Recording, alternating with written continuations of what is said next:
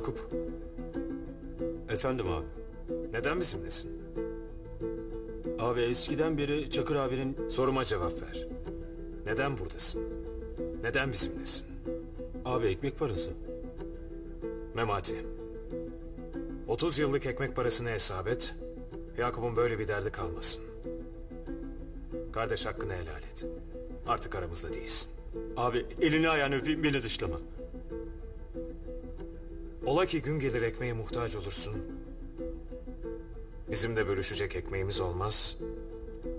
Yakup'a mahcup oluruz. Biz mahcubiyeti kaldıramayız. Yolun açık olsun. Sen de hakkını helal et abi. Helal olsun.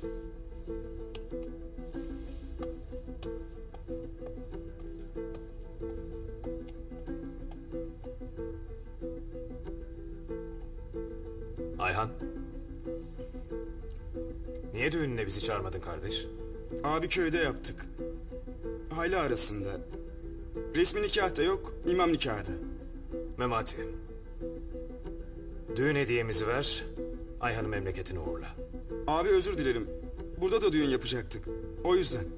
Kardeş, biz seni de, senin sevdiklerini de severiz. İsteriz ki sevildiğin bir yer varsa orada olasın. Mutlu olasın. Hakkını helal et. Helal olsun.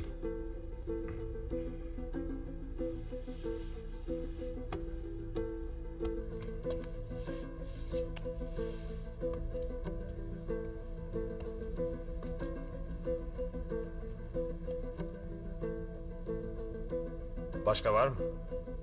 Evli olan, çoluğu çocuğu olan, anasına babasına meftun olan, kaybedecek bir tek şeyi bile olan birisi.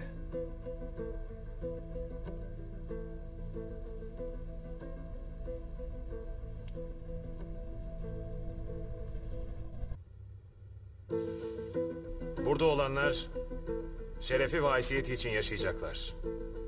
Ün, nam, şöhret, karı, kız, racon, kabadayılık, it, ot peşinde koşmayacaklar. Benim bir davam var. Burada olan herkesi davama ortak sayarım. Dediklerimi yapmayanı da davama, davamıza ihanet etmiş sayarım. Benim davam bu topraklar üstünde yaşayan bir tek mazlumun dökülecek bir damla kanına karşılık bin zalim kanı akıtmak. Bu davayı güdebilmenin tek bir yolu vardır. Zalim olmamak. Ama mazlum da olmamak. Mazlumun hakkını zalimden almak. Hepsini alamasak da bu uğurda ölürüz. Benim davamın ortağı mısınız? Ortağıyız. Pişman olacağınız şeyi yapmamaya, yaptığınız şeyden pişman olmamaya hazır mısınız? Hazırız. Bayrak, Kur'an, silah üstüne yemin eder misiniz? Ederiz. Ben de sizi yarı yolda bırakmamaya, gözümü diktiğim ufka kadar götürmeye yemin ediyorum. Allah utandırmasın.